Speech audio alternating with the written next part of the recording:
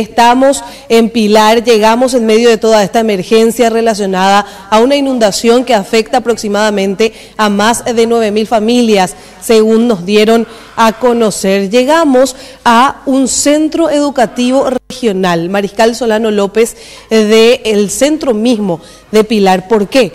Porque aproximadamente siete familias que quedaron bajo agua no tuvieron otra opción, otro lugar que llegar hasta estas aulas con el objetivo eh, de encontrar algún tipo de refugio en medio de toda esta crisis que afecta a esta población.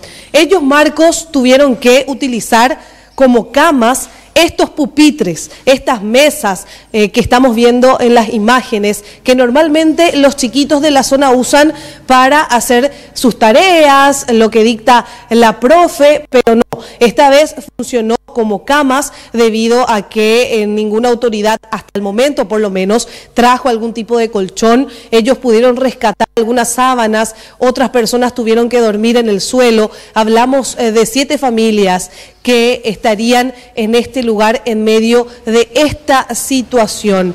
Señora, ¿de qué barrio es usted? no, no. ¿La situación cómo está ahí? no iba ahí, aporte, porque no...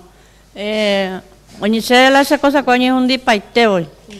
Ah, mi colchón, mi eh, se moto, se ladera mía, bajo agua, bajo agua y te hacen ayer, ayer la autoridad que toma esa no en mi casa dice ese año ah, se me embundaron y ahora con 16 años menor de edad, de que la regueite y eso que la aviso va yo que ahora que la que la Primera vez que Sí, primera vez sea lo menos tú sabes yo hice mondir porque tengo un año nada más. Yo abuela Pilar a vivir curía eh are coi la problema sea la ese corazón hija. Yo a cuando me la a pela hospital a sea mi vieja una escuela y porque el tema de la hora pesa cualquier general día.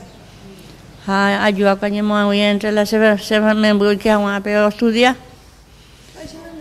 Lidia Molinas. Bueno, gracias, doña Lidia. Por otro lado, estamos con otra mujer que tuvo que dormir básicamente en el suelo. Su hijo, su familiar, tuvo que utilizar esta mesa, este pupitre, como una especie de colchón para tratar de conseguir el sueño en medio de este problema. Así mismo es. Así estamos sin nada.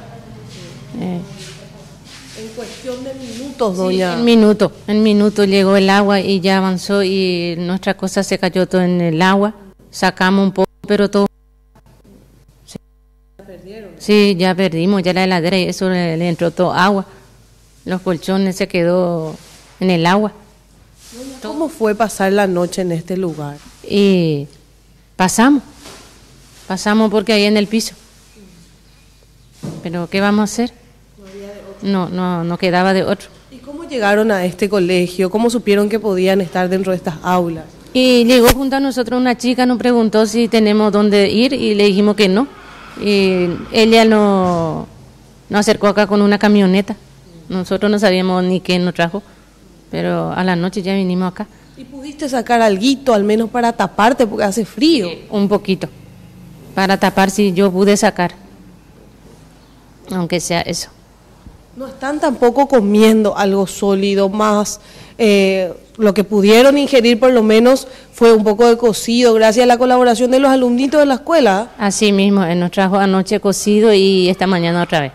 Pero comida, comida todavía. Todavía, todavía. Nos dijo, pero vamos a ver, ojalá. Quieren hacer una especie de olla popular. Así nos dijeron. Sí, estamos esperando. ¿Y ayuda del gobierno, alguito? nada, nada todavía. Ojalá. ¿Es la primera vez que le pasa algo así? Y sí, la primera vez. Porque impresionante fue. La primera vez. ¿Pensó que alguna vez iba a pasar por esto? No, no, ni no puedo creer hasta el momento, yo no creo. Es desesperante. Sí, desesperante. Así mismo. muchas gracias. Gracias a usted. Muchas gracias, doña. Dale. Esta es la situación. Son familias que tuvieron que tratar eh, de refugiarse en estas aulas, en este centro educativo Mariscal Solano López.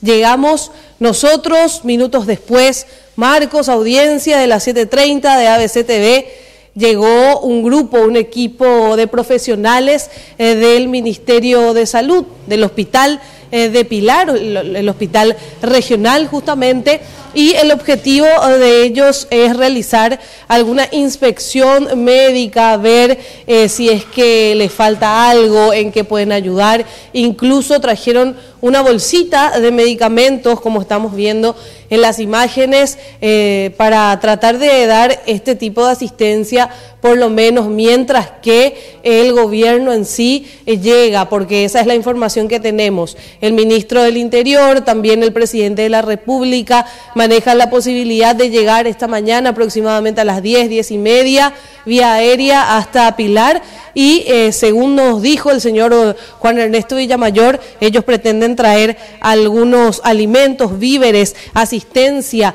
para tratar de dar una mano de ayuda a esta población que está en medio de la crisis. Básicamente en un recorrido que después ampliaremos, aproximadamente el 90% de Pilar está bajo agua. La situación es crítica y este informe va a ser ampliado en minutos nada más.